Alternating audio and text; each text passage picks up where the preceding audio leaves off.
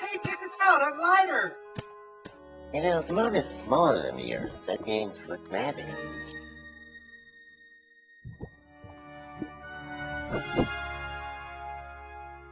I'm a super jock up here. I could be a star basketball player.